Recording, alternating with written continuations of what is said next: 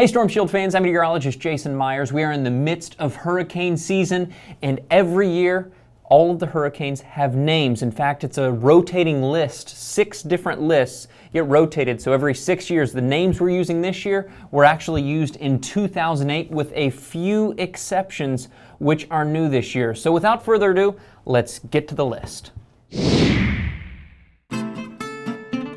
Arthur, Bertha, Cristobal, Dolly, Edouard, Fay, Gonzalo. That one's new, replacing Gustav. Hanna, Isaias, replaces Ike. Josephine, Kyle, Laura, Marco, Nana, Omar, Paulette.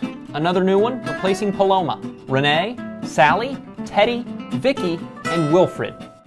Now, what happens if we make it through that entire list of 21 names? Well, you remember in 2005, we made it through the alphabet, then we start to use the Greek letters of the alphabet alpha, beta, gamma, delta, and so on until the hurricane season is finally finished. Hopefully, it doesn't get to that point. It's not looking like it will. It looks like it's going to be a fairly quiet hurricane season. We'll have to wait and see. In the meantime, please like this video, subscribe to our channel, and I'll see you next time.